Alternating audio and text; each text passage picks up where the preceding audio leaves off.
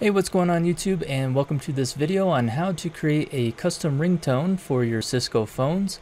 And uh, this came about because one of the viewers uh, on this video that I posted almost seven years ago was trying to uh, create their own ringtone uh, or use the CTU ringtone like I used in this example, but they were having issues when they tried to play it. It sounded garb garbled, uh, didn't sound right, and uh, so and it's been a while for me, so I uh, I started playing with it, and I actually had some issues too. So just as an example, you can hear this ringtone.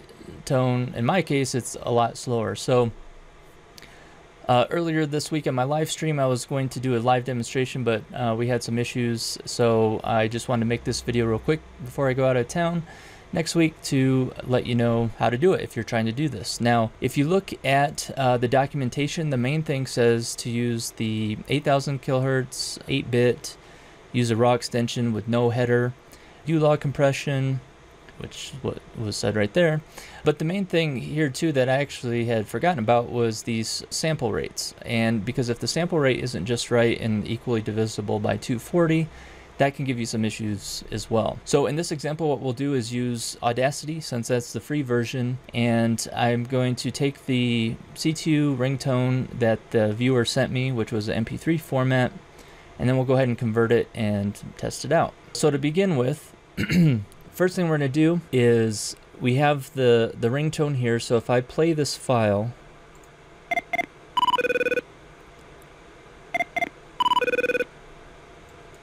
that's how we actually want it to sound. And as you can tell, this is how it sounds on the actual phone uh, when I had set it up earlier. So uh, what we'll do here is go ahead and open the file. And you can see this is 44,000 hertz, 32-bit, in stereo. So what we'll do here is we're going to change our project right here to 8000 and we are going to split this out to split stereo to mono, and then we can just delete one of these. And now we have our ringtone here. And what you'll want to do too is, if this is by default on seconds, you want to change this to samples, because we want to make sure those samples, again, are divisible by 240. So if we go ahead and highlight the whole audio file here, we can see 72, uh, there's 72,934 samples. Now you can use a calculator and I'm sure there's many ways to do this, but a quick dirty way to do it would be as if you have Excel for example. And what you could do is just put a couple values in here. And then just drag this down so you have a whole bunch of numbers to work with. And then back up here, uh, we can use the sum and we're going to say uh, the sum of the field times 240 and again if we just drag this back down now we have all these values populated. So in this case here what I want to do is make sure that this number is equally divisible by 240 so if I go to 72,000 so if we scroll down here we have our 72,000 that's 77 Here's 72,000. Um, 72,960. So the next one down is 72,720. So we could change this to 720 like that and it just takes a little sliver off there. And then what we can do is say export the selected audio and the type and I'm going to call this uh, just CTU. Uh, but uh, have the other uncompressed files and choose options. And then we're going to want to use this raw header and choose the U-law. And we'll hit OK. And then we can save this. And for the metadata, we can clear all of that and hit OK. Now we, you can see we have our CTU raw file. So now what we could do uh, as a template is we'll go to our directory here, and we'll download the current XML file and DAT file because that's another thing. Depending on what version your or, uh, of software and what model phone you could be using, if you're using really old phones, it could be using the ringlist.dat file.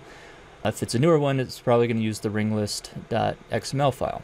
So what we can do is say um, go to TFTP and then uh, 192, we'll use our publisher here, 202.211, and we'll get the file ringlist.xml and ringlist.dat, and then we can remove the read-only attributes uh, from those files so we can edit them. Alright, so now we have our two files here, and I will go ahead and open this. We'll say open with Notepad. And you can see for the .dat files, it's just the name with a comma and then the file name. So I can just somewhere throw in here, we'll say uh, 24 CTU and CTU.raw. So we'll save that, and then we'll do the same thing for the XML file. And probably 99% of the time nowadays, this is the main one you're going to want to use. And that's also referenced on the creation document. It has an example right here. Um, but as you can see, by downloading it, we already have our, it's pretty much already filled out for you. So just as an example, I will uh, copy that and we'll say 24 CTU and we'll call this the ctu.raw and save that. Okay, so now if we go to our call manager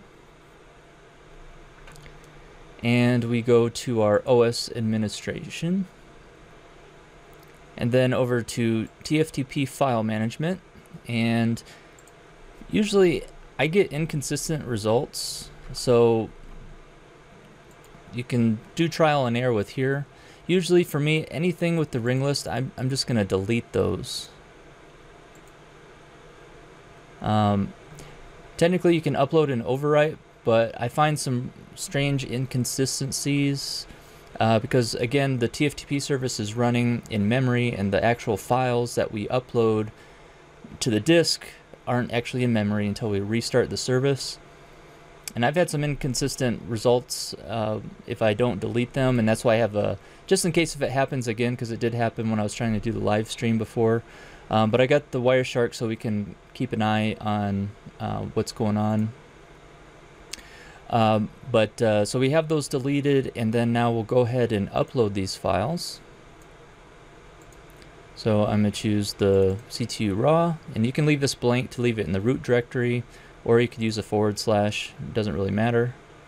And we're going to do this for the ringlist.dat and the ringlist.xml. Alright, and now we can go back over to our serviceability. And then under Tools and Feature Services, go to our CUCM, or a publisher, I should say, that's running our TFTP service.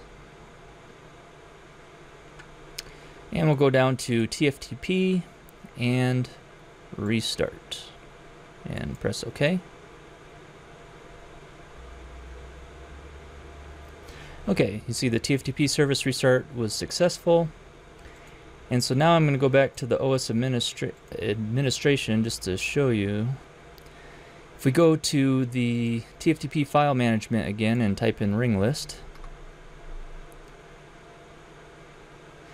Uh, you can see we got the ring list dat and XML, um, but you can see from the previous get, it was looking for this ring list.xml.sign, and this apparently is generated when the phone first, when once the phone or device reaches the TFTP server for the first time, is my guess. I don't know for sure, but you can see that it's not there, but then when we request the file, it will be. So right now I've got the, the 7975 in front of me. So if I go to the settings, then the user preferences and rings, You can see right now I have the default chirp. So I will select this. And now you can see our list of files in the 24 CTU that we created. So we can go down to highlight it and we can select or play it at this point and let's play it. So that sounds good. So now we'll go ahead and uh, hit save. And now you have your customized ringtone. And as you can see here, if I refresh this now, uh, you can see that you have the sign file there and then that matches up with what the phone was getting here when it was requesting the, the actual files, the ring list, the XML, that sign. So at any rate, I hope this was informative for you and thanks for watching and I will see you guys in the next video.